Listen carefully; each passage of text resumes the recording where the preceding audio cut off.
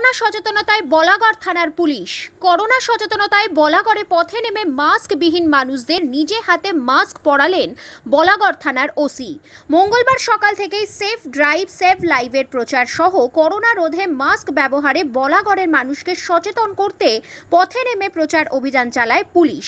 বাঙালি শ্রেষ্ঠ উৎসবের সাধারণ মানুষ যাতে অবশ্যই মাস্ক ব্যবহার করে, তারই প্রচারে এদিন পথে নামে পুলিশ।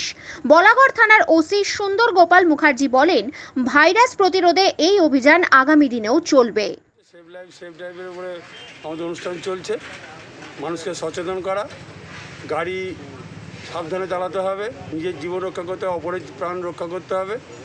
প্লাস আজকে যে করোনা ভাইরাসের যুগে যে বিভিন্ন রকম মহামারী দেখা দিচ্ছে, হাজার হাজার লক্ষ লক্ষ প্রাণ মানুষ মারা যাচ্ছে, এই ব্যাপারে সচেতন করার জন্য সবাইকে অন্তত যাতে করোনা আমাদের যাতে মাস্কটা সবাই পরে, মাস্কটা ব্যবহার করে।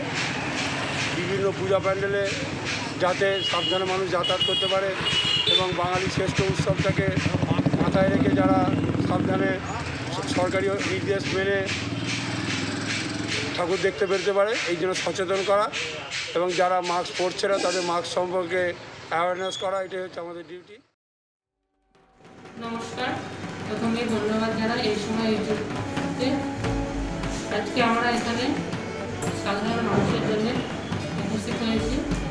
আমরা এই কোভিড নাইন্টিন পরিস্থিতির মধ্যেও যে আমাদের মাননীয় মাননীয় মুখ্যমন্ত্রী যে আমাদের পুজো করার পারমিশন দিয়েছে, আমাদের পুজো হচ্ছে রাজ্যে। এই পুজো সকল গ্রামবাসীর জন্যে, সকল সাধারণ মানুষের জন্য ভাই বোনের জন্যে সকলে এই কোভিড নাইন্টিন পরিস্থিতি মাস্ক ব্যবহার করে স্যানিটাইজার ইউজ করে সকলে দূরত্ব বজায় রেখে প্যান্ডেলে প্যান্ডেলে